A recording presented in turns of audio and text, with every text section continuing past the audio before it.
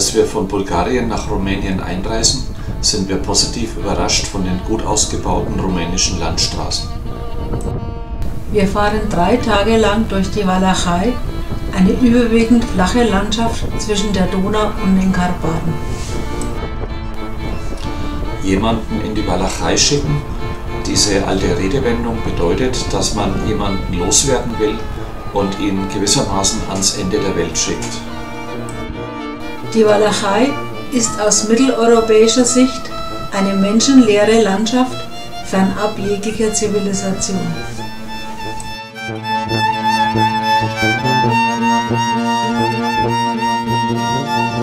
Tatsächlich machen wir die Erfahrung, dass die Zivilisation noch nicht überall in der Walachei angekommen ist. Die Kreisstraße Nummer 503 ist auf einer Länge von 20 Kilometern noch eine teilweise schlimme Schotterpiste.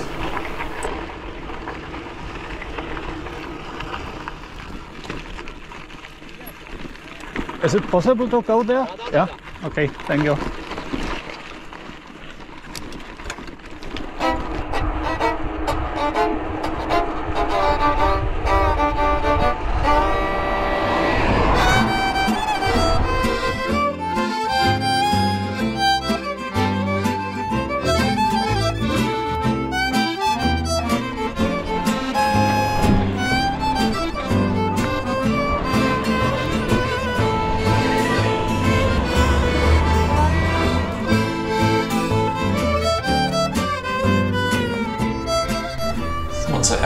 Übernachtungsstandort in Rumänien ist der Hanul Cocosul, zu Deutsch der Gasthof zum Hahn.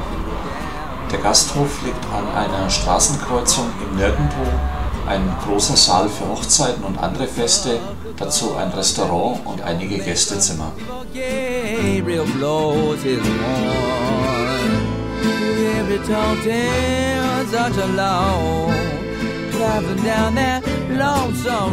Getränke. Also 67 Kilometer ohne größere Steigungen. Die Fahrradgarage praktischerweise in unseren Gästezimmern, ein leckeres Essen und ein kühles Bier. Ein perfekter Einstieg in den zweiten Teil unserer Radtour.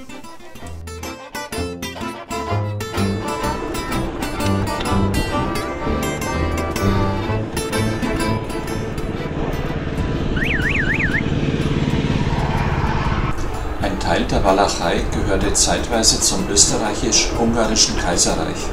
Für einen Wiener Beamten war es damals die höchste Stufe der Demütigung, wenn er in die Walachei geschickt wurde. Wir finden aber das Radeln durch die Walachei sehr entspannt und gleichzeitig interessant. We've been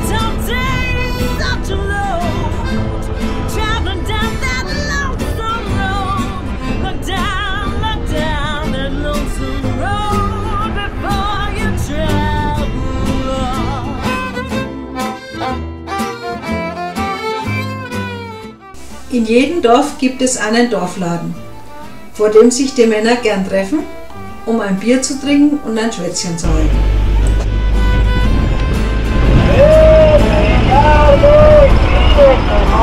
Look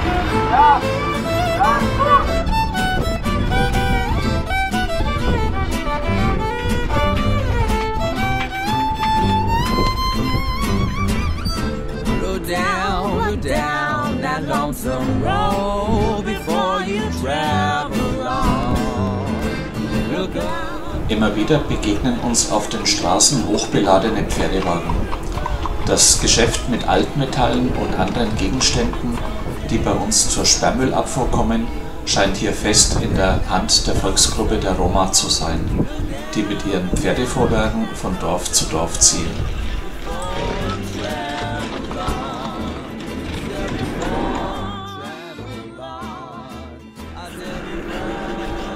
Unsere nächste Übernachtung haben wir im Dorf Isoro gebucht. Wir haben keine Ahnung, was uns dort erwartet.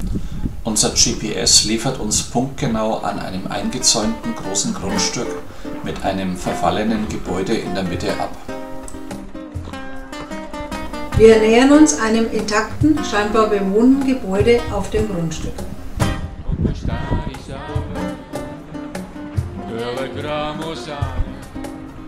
Hello. Hans, Thomas. Nice to meet you. Welcome. Uh, how are you? Oh, fine.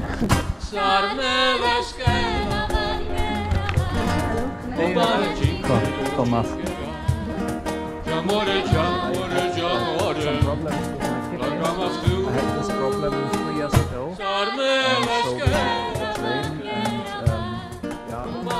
Auf dem Grundstück des ehemaligen Schlosses lebt eine junge Familie. Alex und Maria haben sich im früheren Verwaltergebäude ihre Wohnung eingerichtet und mit einfachen Mitteln eine Gästewohnung ausgebaut. This house. And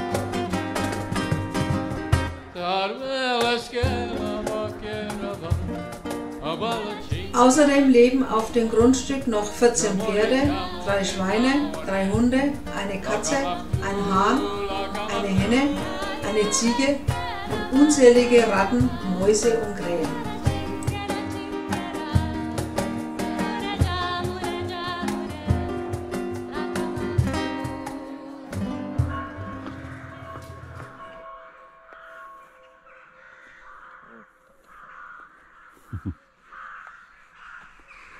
His name is Puyo. Puyo. Puyo. The- yeah. Uh, all your animals have names. Yeah. What is the the goat's name? Uh, Capri. Capri. Capri. it's uh, like a shortcut from Capra, which means goat. In, Ah, okay.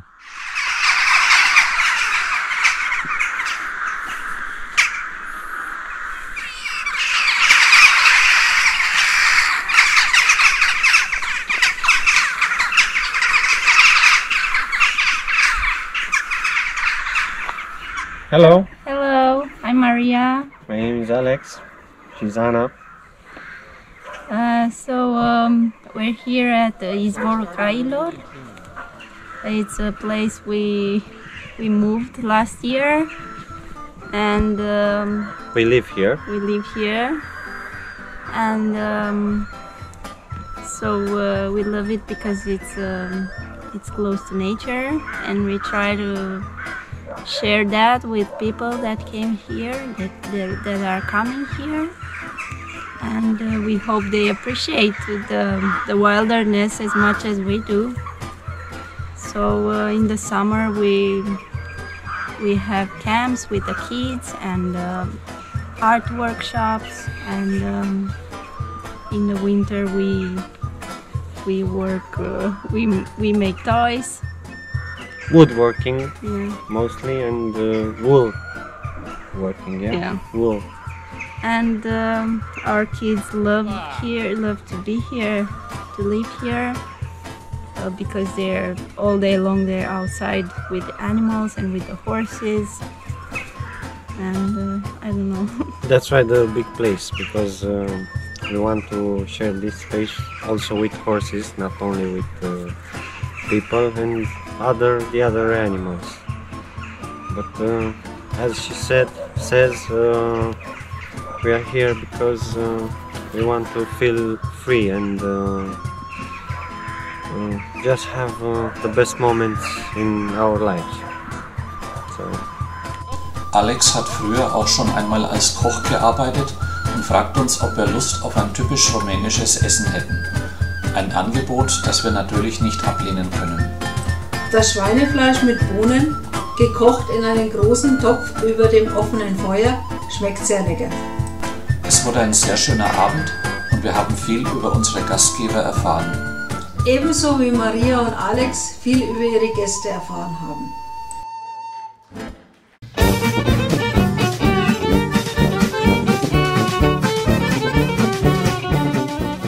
Im Dorf fand am gleichen Abend auch eine typische Zigeunerhochzeit statt, inklusive Musikbeschallung für das ganze Dorf bis weit nach Mitternacht.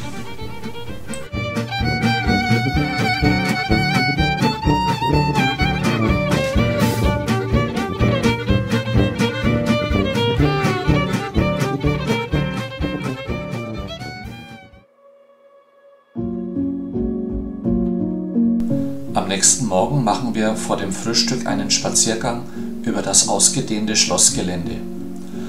1945 wurden die adligen Eigentümer enteignet und vertrieben. Bei einem Brand des leeren Schlosses stürzte das Dach ein und wurde seitdem nicht wieder aufgebaut.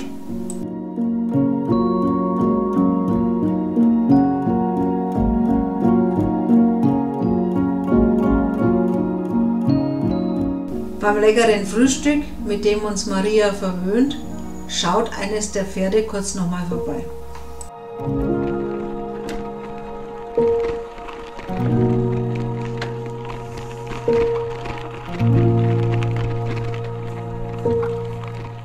Und dann heißt es Abschied nehmen von diesem ganz besonderen Ort und unseren liebenswerten Gastgebern. Okay, bye bye. Thank you.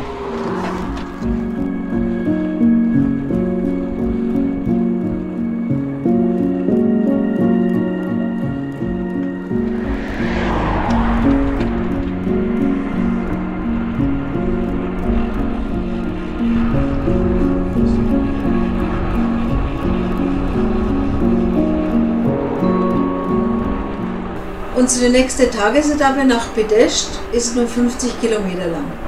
Das ist auch gut so, weil ab Mittag Regen angekündigt ist.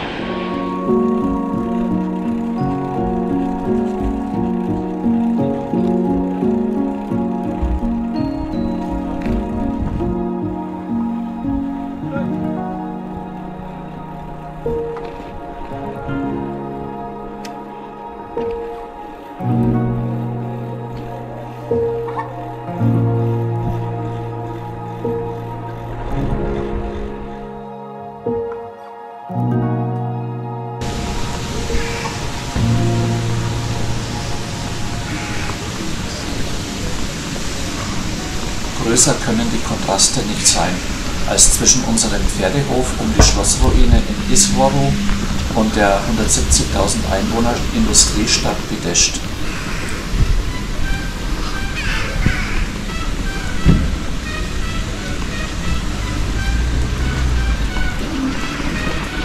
Bidesht ist gewissermaßen das Wolfsburg von Rumänien, weil hier seit den 1960er Jahren die Autos der Marke Dacia hergestellt werden.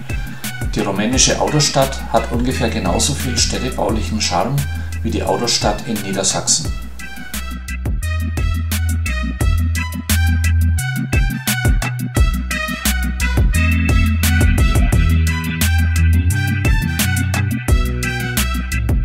Im nächsten Video ist Schluss mit Radfahren im Flachland. Dann geht es ab in die Berge.